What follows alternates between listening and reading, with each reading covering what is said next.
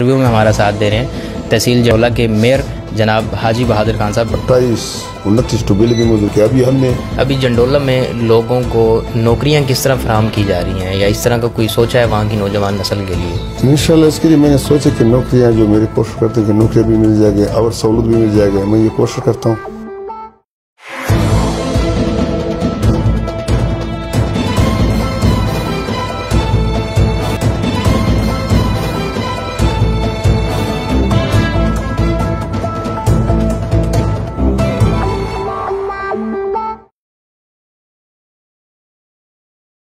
वालेकुम दमान टीवी से मैं हूँ तैमूर इकबाल। आज एक इंटरव्यू के साथ आपकी खिदमत में हाजिर हुए हैं। इंटरव्यू में हमारा साथ दे रहे हैं तहसील जंडोला के मेयर जनाब हाजी बहादुर खान साहब। इनसे बात करते हैं कि इन्होंने अपनी सियासत का आगाज़ कहाँ से शुरू किया और बेसिकली इनका जो जमीयत की जमीयत इस्लाम की पार्टी से ताल्लुक़ है और उसी से ये मेयर बने हैं।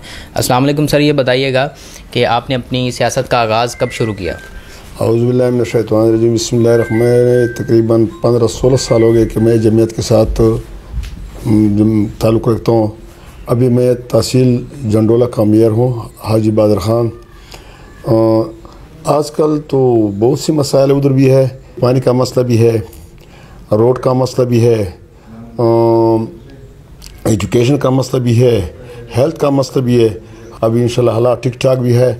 अभी इंशाल्लाह बस हमने काम भी शुरू किए हैं।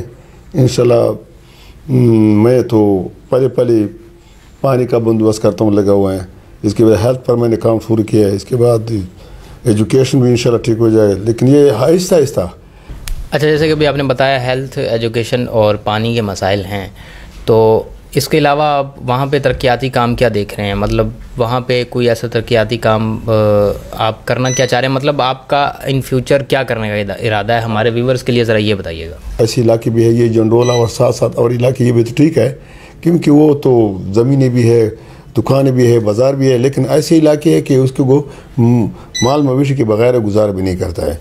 इन ये भी, दूसरी भी रोड की ज़रूरत अभी हमारे इलाके में तो रोडें भी शुरू है गए, क्योंकि हमारे एम एन ए साहब मुफ्ती अबू शकुर साहब ने एक बड़ा मनसूबा मंजूर किया, अभी तकरीबन तीस साल हुए शुरू होगा। बहुत से अट्ठाईस, उनतीस टू बिल भी मंजूर किया। अभी हमने बस कोशिश करते हैं कि मैं भी ये कोशिश करती कि पानी की ज़रूरत भी पूरा करते हैं और एजुकेशन की ज़रूरत भी पूरा करता हूँ और दूसरा जो हेल्थ रोड ये सारे हम कोशिश करते हैं कि हम पूरा करते हैं।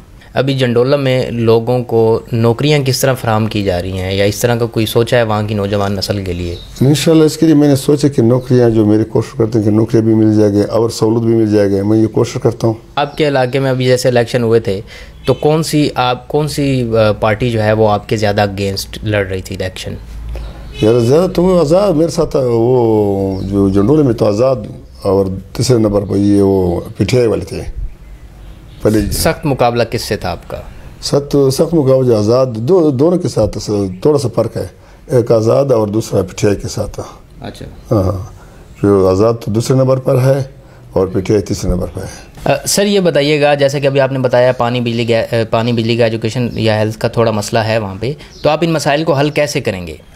जी, तहसील जंडोला के सारे जो इमरजेंसी मसले जो हम हल करेंगे इन बहुत शुक्रिया। नाजीन हमारे साथ तहसील जंडोला के मेयर हाजी बहादुर खान साहब मौजूद थे और इनसे हम बातचीत कर रहे थे। हम उम्मीद करते हैं कि ये अपने तहसील के जंडोला के तमाम मसाइल को हल करते रहेंगे और मज़ीद इनको कामयाबी हासिल होगी।